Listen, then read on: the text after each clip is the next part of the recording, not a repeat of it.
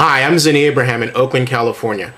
On November 21st, former Oklahoma Congressman and CNN The Situation Room contributor J.C. Watts asserted that your campaign, Governor Romney, had no African Americans on it. This question is for all the candidates. Do you have more than one African American employee on your staff? And is diversity important to you? Thank you very much.